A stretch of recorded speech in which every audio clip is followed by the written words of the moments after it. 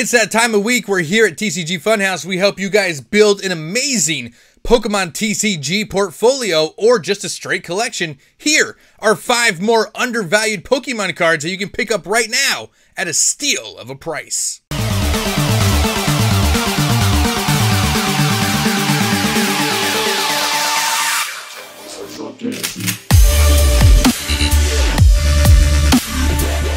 What's going on, Funhouse crew? Welcome back to the channel, TCG Funhouse, where we open up Pokemon cards, we talk about Pokemon cards, and lately we've been building an amazing Pokemon TCG collection slash investment portfolio on a budget here at TCG Funhouse. And we are bringing you another episode of that exact series today, where I give you five more undervalued Pokemon cards that I think you can buy right now to improve your collection and build your investing portfolio of the Pokemon TCG on a good budget steals of a price. But right before we get into that, just a reminder, we have a giveaway going on for the entire month of October, and there's actually two winners this month, guys. Bam!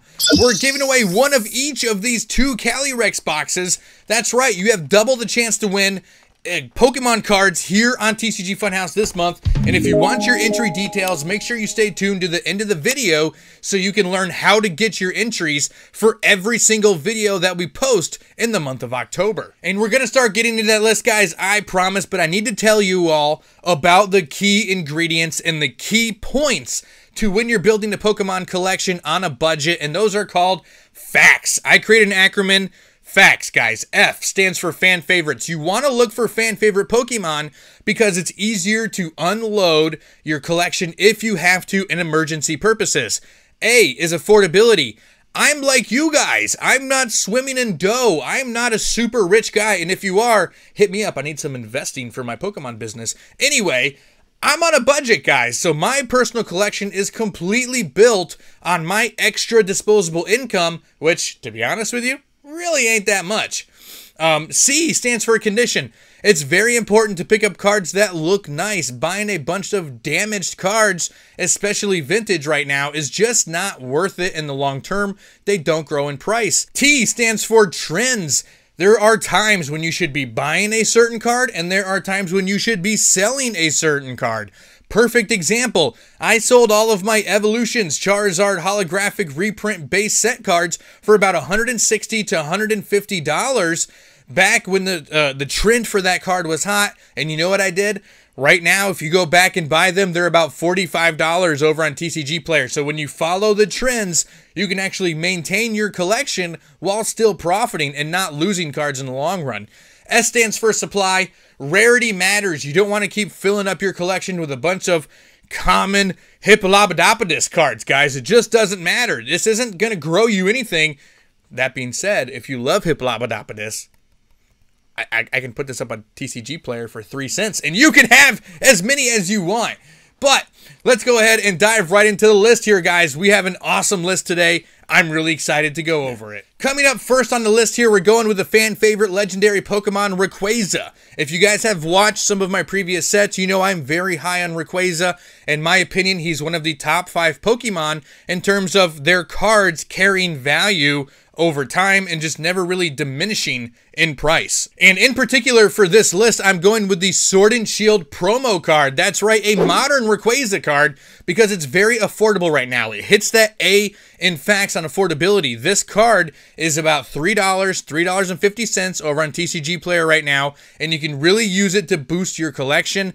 I really don't see this card ever coming down in price. It's Rayquaza, it's holographic, the longer it goes, and these three pack blisters that it was a part of are not going to be found on the shelves anymore.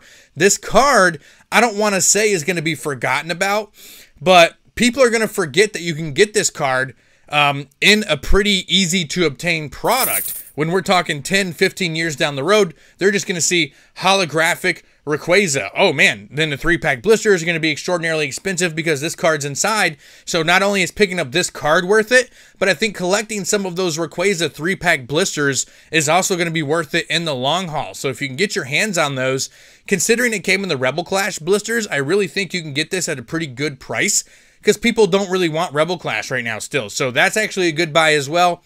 The three pack blisters for a sealed collection, and then also picking up this Rayquaza on its own for about three to three dollars and fifty cents is a good buy right now. So we start with the modern card, and then we're moving way on down the list down to Wizards of the Coast with one of the first cards printed. This was printed way back during like base set and fossil times for Wizards of the Coast. I'm going with the Wizards of the Coast Mew Black Star promo non-holographic version. And again, this one really, really slaps that A in affordability because it still goes for about $2 right now over on TCG Player.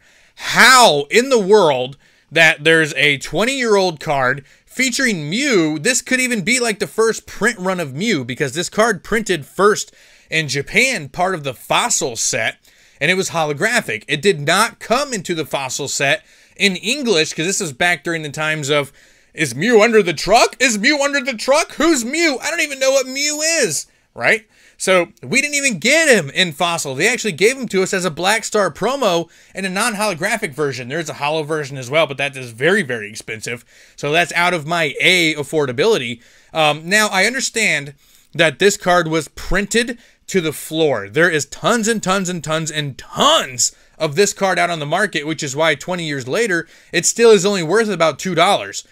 But this is a long term play. You're telling me that picking up 10 to 12 to 15 of these cards at that price point in near mint condition 20 years from now is not going to be a good buy. Because the longer, the longer, the longer time goes by, this card is going to become less and less and less, especially with the new printing that is happening right now. They're doubling and tripling printing. So as many Mews as there are, there's going to be that many of a lot of cards, man. So my opinion, pick up this Mew card. It's phenomenal, fan favorite, mythical uno uno number one, right? Numero uno. I was going to say uno numero. Numero uno, right? It's a lot of people's favorite mythical, fan favorite, huge buy right now. Two bucks. Why not? It's two freaking dollars. You can't miss. It's two bucks. All right, we had some fun hanging out in the past 20 years ago, but now we're back a little bit closer to modern times. I'm going with Dragonite EX from Furious Fists. This card right now is at a very low price of about $2.60. Now, you might be asking yourself, why is a Dragonite Ultra Rare card so low? And that's because it was actually part of the Evolutions Dragonite EX box um, back when Evolutions released. Now, they have printed more Evolutions boxes featuring Dragonite, but those actually include the Evolutions Dragonite. So the Dragonite EX from Furious Fists is in the Dragonite box that was not printed nearly as much as these Kanto Power boxes that are out right now, which has caused the Evolutions Dragonite to plummet in price even below this one now. Um, but that's why this card was uh, readily more available. But again, we're looking at a pseudo legendary. People love Dragonite. Again, fan favorite, affordability, $2.60 market price right now. There's over a 100. Supply is still high right now as well. So when you're tick marking these boxes for low demand, high supply, um, low affordability, fan favorite, you're really getting into it, right? So as this card continues to go, that Dragonite box no longer exists.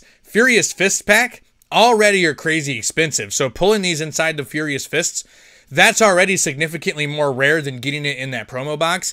But 20 years from now, that promo box is going to be almost completely eliminated, and the Furious Fist packs are going to be the main source of getting this Dragonite card once again.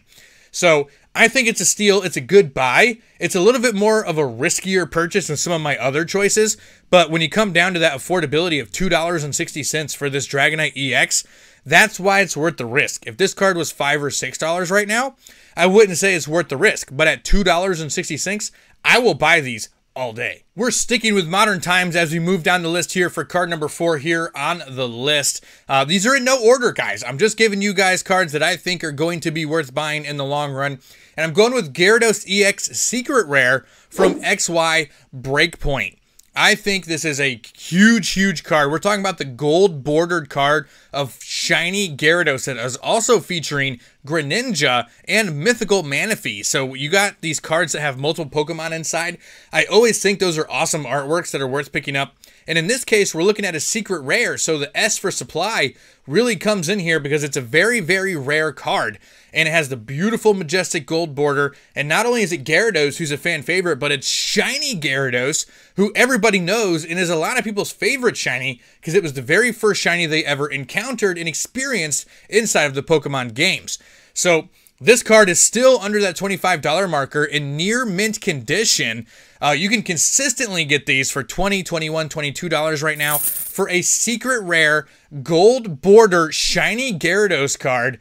Absolutely phenomenal. And again, this card's already getting up there in age. This is during the XY era. So you're already looking at five or six years old on this card. And it's going to just get older and older and older and more rare and more rare just a couple of months ago, like six or seven months ago, you're able to grab this card for about $17, $18. So it's already gone up two or three bucks just in the past six months.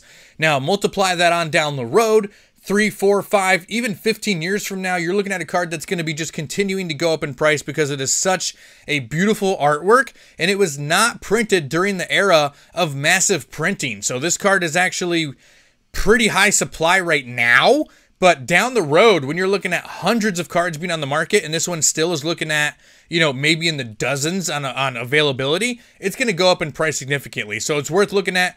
I love this card so much. Plus, who doesn't want a bunch of these? They're just, they just look so nice. Finally, we are reaching back into our vintage pocket. We're going back 20 years again to Wizards of the Coast era for Jungle. That's right, the second uh, set ever printed by the Pokemon Company. And of course, we're going with the mascot Pikachu. Now, you're like, wait a minute, you want me to invest in just common Pikachu cards?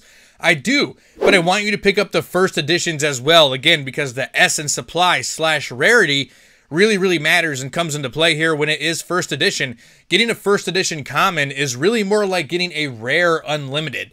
So it's much harder to find than the common cards. And getting this in near near mint price right now, the price range is about six to eight dollars for near mint condition on this Pikachu.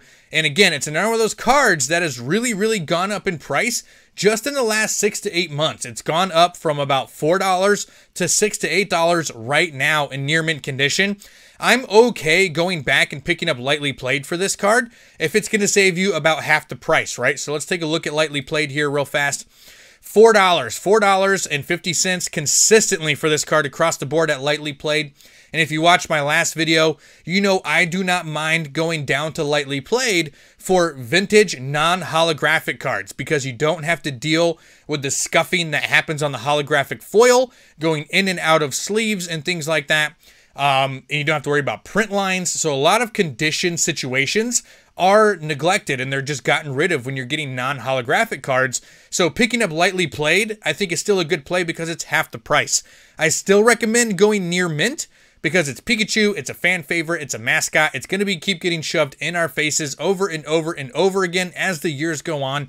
But first edition, really makes this card worth it overall. So make sure you guys check it out over on TCG Player. I think it could really help build you an awesome collection. Plus, this one has tons of nostalgia.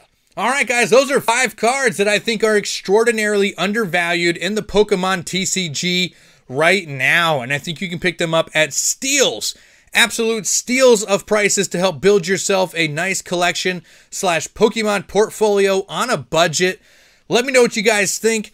Leave a comment below, guys. Someone left a comment about that Rayquaza that I had on this list, and I went ahead and did some more research on it, and I completely agree with that person. I knew about the card, but I didn't know that it was so affordable at the time. So leave a comment below. Help inspire me to put some cards on this list. I love knowing your guys' thoughts and your guys' opinions on this matter. What cards are you buying for your Pokemon collection, for your Pokemon portfolio, so we can help others do it as well? Don't be greedy. Don't be selfish. This is about sharing the wealth of information that we have at our fingertips here at TCG Funhouse, and whoever you are, and whatever you like to do in the Pokemon game as well. But while you guys are here, if you're new, slap a subscribe. We're going to be posting two types of these videos every single week here on the channel. Every Monday and Friday at 2 p.m., we're going to be talking about building Pokemon collections on a budget, whether it's singles or sealed product or whatever we have going on.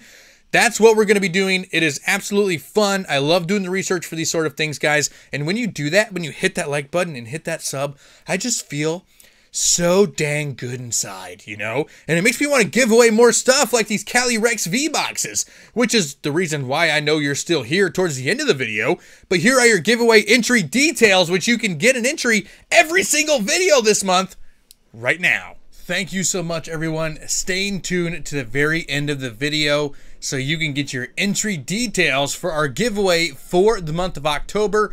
And the really cool thing about this month is we're having a double giveaway. That's right. there's going to be two winners for the month of October. The first time that we've had two winners for giveaways, gosh, for probably about a year now. It's not the first time we've done it, um, but it's been a while. So that's right. Our awesome new giveaway is going to be two Calyrex V boxes, guys. We're giving away one Ice Rider and one Shadow Rider V collection box, one of each. That means there's going to be two wonderful subscribers taking home these awesome, awesome boxes so they can rip them themselves or keep them for their sealed collection. Now, it's very, very easy to get your entry. All you have to do, guys, is be a subscriber here on TCG Funhouse. You have to hit the like button on this particular video, and you have to leave a comment below on this particular video. You can leave any comment that you want down there. Usually throughout the video, I do ask a question or ask for an opinion. So go ahead and fill that out because I love talking to you guys down there as well. I comment back to every single person that takes time out of their day to leave a comment for me because it's just, it's so much fun. I love being a part of the Pokemon community and you guys supporting the channel is more than I could ever, ever ask for. And this is just one of the ways that I can try to give back to you guys as well. Now, you can get an entry for every single video in the month of October. Now, that's what three videos per week at minimum for the full length videos but we post shorts every single day guys so the more comments you leave the more videos that you like the more videos that you share on your social medias with your friends and family the more entries you get for this giveaway and remember you have twice the chance of winning this month congratulations to last month's winner let me know what kind of pulls you got, and I'm really excited to find out who the winner is going to be this month. Thank you so much, guys. That is how you get your entry for the two Calyrex V boxes that will be given away for the month of October.